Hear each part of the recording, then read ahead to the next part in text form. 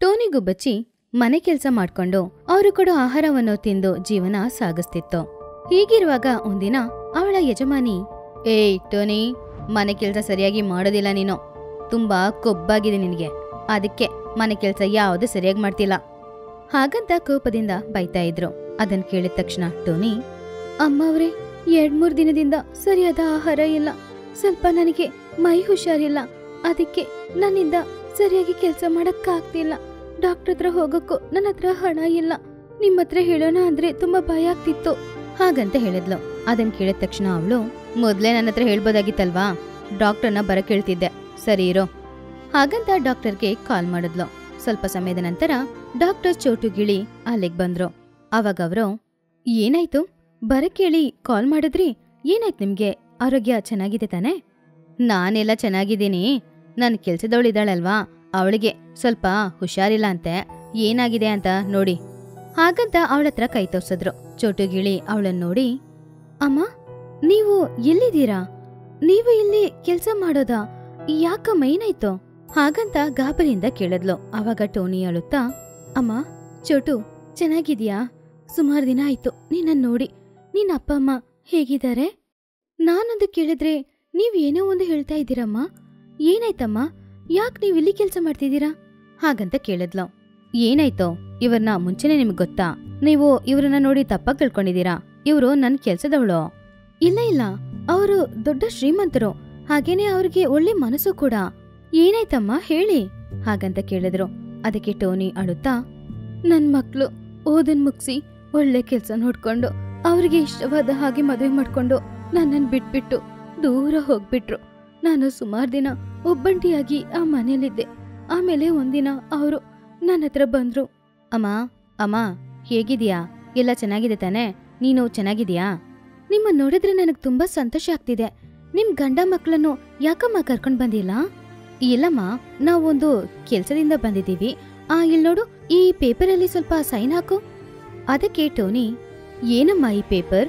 ಏನಿದೆ? ಹಾಗಂತ ಕೇಳಿದ್ಲು. ಅದಕ್ಕೆ ಅವರು ಈ ಮನೆನ ಮಾರಿದೀವಿ. ನನ್ ಮಕ್ಳು ಅಮೆರಿಕ ಹೋಗಿ ಓದ್ಬೇಕು. ಅದಕ್ಕೆ ಖರ್ಚಾಗುತ್ತಮ್ಮ. ಏನ್ ಹೇಳ್ತಾ ಇದ್ದೀರಾ? ಯಾಕೆ ಹೀಗೆಲ್ಲ ಮಾಡ್ತಾ ಇದ್ದೀರಾ? ಹಲವು ತಲೆಮಾರಿಗಳಿಂದ ನಾವು ಈ ಮನೇಲೇ ಇರೋದು. ಸರಿ, ಈ ಮನೇನ ಮಾರಿದ್ರೆ ನಾನ್ ಎಲ್ಲಿಗೆ ಹೋಗೋದು? ನನ್ನನ್ ಕೇಳ್ದೆ ಯಾಕೆ ರೀತಿ ಐಡಿಯಾ ಮಾಡಿದ್ರಿ? ಅಮ್ಮ, ನಿನಗೋಸ್ಕರ ಒಂದು ಚಿಕ್ಕ ಮನೆ ನೋಡಿದೀವಿ. ಏನು ಮಾತಾಡದೆ ಸ್ವಲ್ಪ ಇದ್ರಲ್ಲಿ ಸೈನ್ ಮಾಡಮ್ಮ.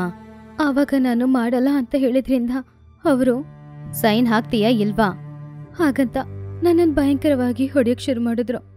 ನನ್ನ ದಯವಿಟ್ಟು ಹೊಡಿಬೇಡಿ. ನಾನು ಸೈನ್ ಮಾಡ್ತೀನಿ, ಬಿಟ್ಬಿಡಿ. ಹಾಗಂತ ಅಳ್ತಾ ಅವ್ರ ಹತ್ರ ಬೇಡ್ಕೊಂಡು ಸೈನ್ ಮಾಡ್ದೆ. ಆಮೇಲೆ ನನ್ನನ್ನೊಂದ್ ಚಿಕ್ಕ ಮನೇಲಿ ಬಿಟ್ಬಿಟ್ಟು ಅವರು ಹೋಗ್ಬಿಟ್ರು. ಆದ್ರೆ ನಾನಲ್ಲಿ ಹೇಗೆ ಬಾಳೋದು? ನನ್ನ ಹೊಟ್ಟೆ ಪಾಡಿಗೋಸ್ಕರ ನಾನೊಂದು ಕೆಲ್ಸಕ್ಕೆ ಹೋಗ್ಲೇಬೇಕಲ್ವಾ? ಆದ್ರಿಂದಾನೇ ಇಲ್ಲಿ ಕೆಲ್ಸಕ್ಕೆ ಸೇರಿದ್ದು. ಹಾಗಂತ ಹೇಳಿದ್ಲು. ಅದನ್ ಕೇಳಿ ಚೋಟು ತುಂಬಾನೇ ಕಷ್ಟಪಟ್ಲು. ಅವಾಗ ಮಹಿ ಕೂಡ, ಅಯ್ಯೋ ದೇವ್ರೆ, ಯಾಕ್ ಮಕ್ಕಳೆಲ್ಲ ಹೀಗೆ ಮಾಡ್ತಿದ್ದಾರೆ ನಿಮ್ ಕಷ್ಟನ ಅರ್ಥ ಮಾಡ್ಕೊಳ್ದೆ. ಸರಿ, ಓಕೆ. ಇವರನ್ನ ನಿಮಗೆ ಹೇಗ್ ಗೊತ್ತು ಹಾಗಂತ ಕೇಳಿದ್ಲು. ನನ್ ತಂದೆ ಸತ್ತೋದ್ರು. ನಾನ್ ನಮ್ ತಾಯಿ ಜೊತೆ ರೋಡಲ್ಲಿ ನಿಂತ್ಕೊಂಡಿದ್ದೆ. ಆವಾಗ ಇವ್ ನಮ್ಮನ್ ನೋಡಿ ಹತ್ರ ಬಂದು, ಯಾರ್ ನೀವು? ಯಾಕೆ ಇಲ್ಲಿ ಕೂತ್ಕೊಂಡು ಅಳ್ತಾ ಇದ್ದೀರಾ? ಏನಾಯ್ತು? ನನ್ ಗಂಡ ನನ್ನನ್ ಬಿಟ್ಬಿಟ್ಟು ಹೋಗ್ಬಿಟ್ರು. ನಮಗೆ ಆಸ್ತಿ, ಪಾಸ್ತಿ, ಮನೆ ಏನು ಇಲ್ಲ. ಒಬ್ಳೇ ಒಬ್ಳು ಮಗಳು. ಇವಾಗ ನಾವು ಬೀದಿ ಪಾಲಾಗಿದ್ದೀವಿ. ಎಲ್ಲಕ್ಕೆ ಹೋಗ್ಬೇಕು ಅಂತಾನೆ ನನಗೆ ಅರ್ಥ ಆಗ್ತಿಲ್ಲ. ನೀವು ಸ್ವಲ್ಪ ದಯೆ ತೋರಿಸಿ. ಏನಾದ್ರೂ ಕೆಲಸ ಕೊಡಿಸ್ತೀರಾ? ಮೊದಲು ನನ್ನ ಜೊತೆ ಬನ್ನಿ. ಹಾಗಂತ ಕರ್ಕೊಂಡು ಹೋದ್ರು. ಅಲ್ಲಿ ಅಮ್ಮನ ಹತ್ರ ಹಣ ಕೊಟ್ಟು, ಈ ಹಣದಲ್ಲಿ ಏನಾದರೂ ವ್ಯಾಪಾರ ಶುರು ಮಾಡಿ. ನಿಮ್ಮ ಮಗಳು ಓದಿಗೆ ಏನಾದರೂ ಹಣ ಬೇಕು ಅಂದ್ರೆ ನನ್ನ ಹತ್ರ ಕೇಳಿ. ನಾನು ಕೊಡ್ತೀನಿ. ನಿಮಗೆ ನಿಜವಾಗ್ಲೂ ದೊಡ್ಡ ಮನಸ್ಸು. ಪರಿಚಯ ಇಲ್ಲದೆ ಇರೋ ನನಗೆ ಹಣ ಕೊಟ್ಟು ಸಹಾಯ ಮಾಡಿದ್ದೀರಾ ನಿಜವಾಗ್ಲೂ ನೀವು ಚೆನ್ನಾಗಿರ್ಬೇಕು. ಹಾಗಂತ ಹೇಳಿ ನಾವು ಅಲ್ಲಿಂದ ಹೋಗ್ಬಿಟ್ವಿ. ವ್ಯಾಪಾರ ಮಾಡ್ಕೊಂಡು ದೊಡ್ಡ ಶ್ರೀಮಂತರಾದ್ವಿ.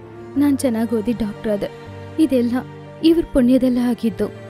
ಹಾಗಂತ ನಡೆದ ವಿಷಯ ಹೇಳಿ ಚಿಂತೆ ಪಡ್ತಿದ್ಲು ಚೋಟು. ಅವಾಗ ಮಹಿ, ಇಷ್ಟು ಒಳ್ಳೆ ಮನ್ಸಿರುವ ಇವ್ರ ಹೊಟ್ಟೆಲಿ ಅಂತಹ ಮಕ್ಕಳು ಹೇಗ್ ಹುಟ್ಟಿದ್ರು ನನಗಂತ ಅರ್ಥ ಆಗ್ತಿಲ್ಲ. ಆ ದೇವ್ರು ಹೀಗೆ ಯಾಕೆ ಮಾಡ್ತಾನೋ ಏನೋ. ಅಮ್ಮ ನನ್ನಮ್ಮ ನನ್ನನ್ನು ಬಿಟ್ಬಿಟ್ಟು ಹೋಗ್ಬಿಟ್ರು. ಇವಾಗ ನೀನೇ ನನ್ನಮ್ಮ ಬಾಮ್ಮ ನನ್ ಜೊತೆ ನನ್ ಮನೆಗೆ, ನಾನ್ ನಿನ್ನನ್ ಚೆನ್ನಾಗಿ ನೋಡ್ಕೋತೀನಿ ಹಾಗಂತ ಹೇಳಿದ್ಲು. ಅದಕ್ಕೆ ಟೋನಿ, ಭಗವಂತ, ನನ್ ಮಕ್ಳು ನನ್ನನ್ ಬಿಟ್ಟು ದೂರ ಹೋದ್ರು. ಚಿನ್ನದ ತರ ಇರುವ ಇನ್ನೊಂದ್ ಮಗುನ ನನಗೋಸ್ಕರ ಕೊಟ್ಟಿದ್ಯಲ್ಲಪ್ಪ. ಹಾಗಂತ ಭಗವಂತನಿಗೆ ಧನ್ಯವಾದ ಹೇಳಿ ಮಹಿಯ ಹತ್ತಿರ. ಇಷ್ಟು ದಿನ ನಾನು ತಪ್ಪು ಮಾಡಿದ್ರು ಸರಿ ಮಾಡಿದ್ರು ಅದನ್ನ ಅಡ್ಜಸ್ಟ್ ಮಾಡ್ಕೊಂಡು ನನಗೆ ಸಹಾಯ ಮಾಡಿದೀರಾ? ನಿಮಗೆ ತುಂಬಾ ಧನ್ಯವಾದ. ನಿಮ್ಮ ಮಾತು ಕಠಿಣವಾಗಿರುತ್ತೆ. ಮನಸ್ಸು ತುಂಬಾ ದೊಡ್ಡದು. ನಾನು ಹೋಗಿ ಬರ್ತೀನಿ. ಹಾಗಂತ ಹೇಳಿದ್ಲು. ಆವಾಗ ಮಹಿ ಕೂಡ ಅಳುತ್ತಾ, ಆವಾಗ ಅವಾಗ ಬರ್ತಾ ಇರು ಟೋನಿ. ಹಾಗಂತ ಹೇಳಿದ್ಲು. ಖಂಡಿತ ಅಮ್ಮ ಅವ್ರೆ. ಹಾಗಂತ ಹೇಳಿ ಟೋನಿ ಅಲ್ಲಿಂದ ಹೊರಟ್ಲು. ಹಾಗೆ ಆ ದಿನದಿಂದ ಚೋಟು ಟೋನಿನ ಮನೆ ಕರ್ಕೊಂಡು ಹೋಗಿ ತಾಯಿ ತರ ನೋಡ್ಕೊಂಡ್ಲು. ಅವಳಿಗೆ ಬೇಕಾಗಿರೋದನ್ನು ಕೊಟ್ಟು ಅವಳನ್ನು ತುಂಬಾ ಚೆನ್ನಾಗಿ ನೋಡ್ಕೊಂಡ್ಲು.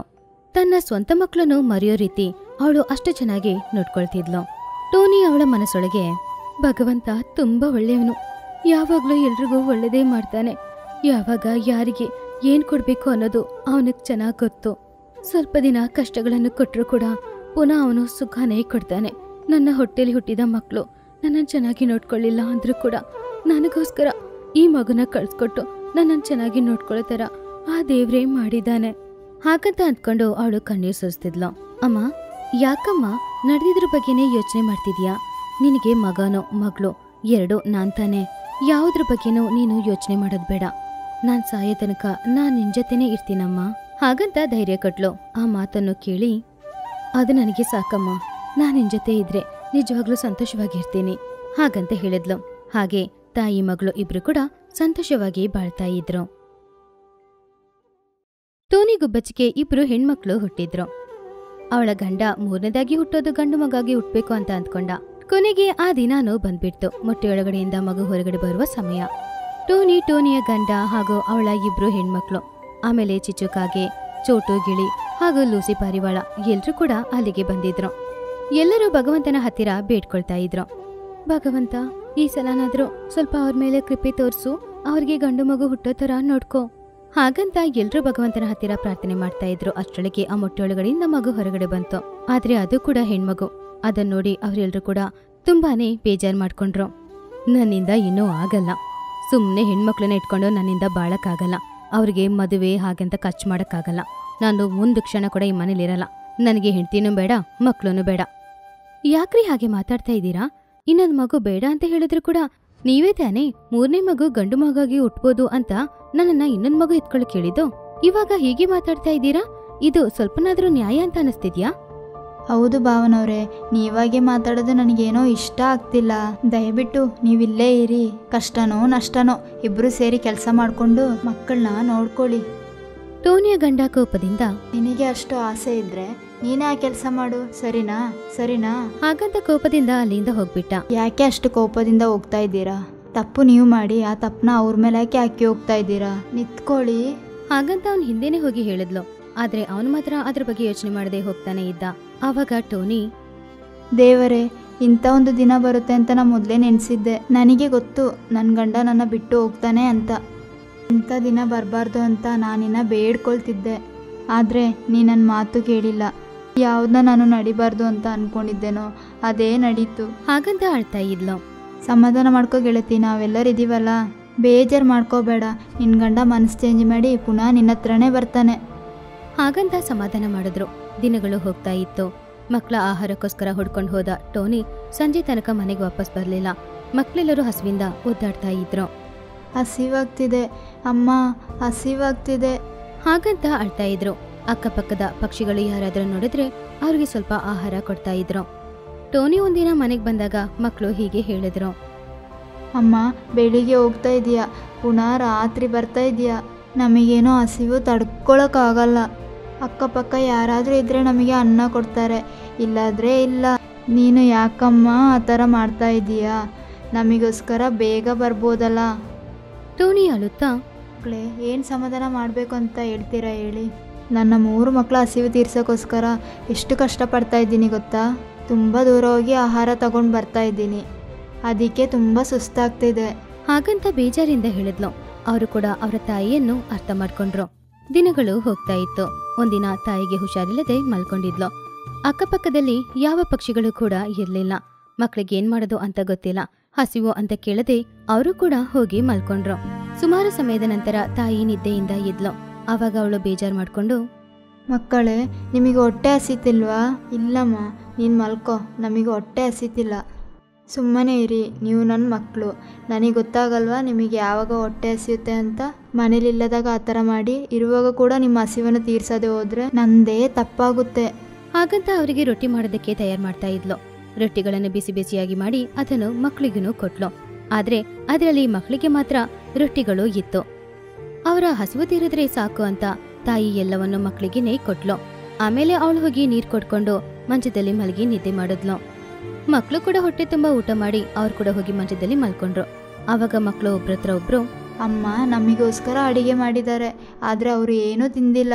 ನಾವು ಅವರಿಗೋಸ್ಕರ ಏನಾದರೂ ಮಾಡಬೇಕು ಮನೇಲಿ ಕೂಡ ಏನೂ ಇಲ್ಲ. ಹಾಗಂತ ದೊಡ್ಡ ಮಕ್ಕಳು ಹೇಳಿದ್ಲು. ಅದಕ್ಕೆ ನಾನು ಎಲ್ಲ ತಿನ್ನದೆ ಅಮ್ಮನಿಗೋಸ್ಕರ ಸ್ವಲ್ಪ ತೆಗೆದಿಟ್ಟಿದ್ದೀನಿ. ನಾನು ಕೂಡ ತೆಗೆದಿಟ್ಟಿದ್ದೀನಿ.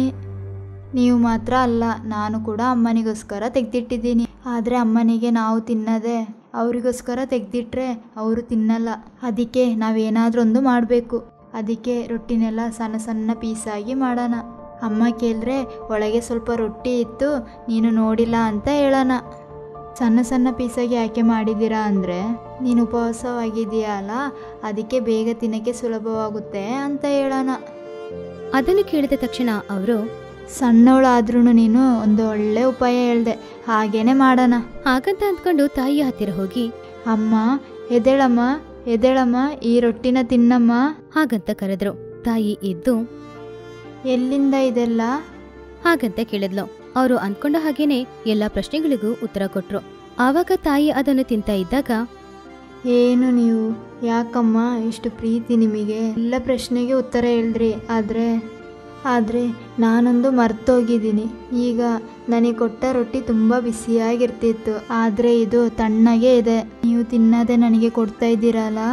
ಅದಕ್ಕೆ ಅವರು ಯಾವ ಉತ್ತರನೂ ಕೊಡಲೇ ಇಲ್ಲ. ಆವಾಗ ತಾಯಿ ಅವರನ್ನು ಪಕ್ಕದಲ್ಲಿ ಕರೆದು ದೇವರೇ ಇಂಥ ಮಕ್ಕಳನ್ನ ಕೊಟ್ಟಿದ್ದಕ್ಕೆ ತುಂಬ ಧನ್ಯವಾದ. ಹಾಗಂತ ಹೇಳ್ತಾ ಇದ್ಲು. ಹಾಗೆ ಪಾಪ ಅವರ ಜೀವನ ಕಷ್ಟದಲ್ಲೇ ಸಾಗುತ್ತಿತ್ತು.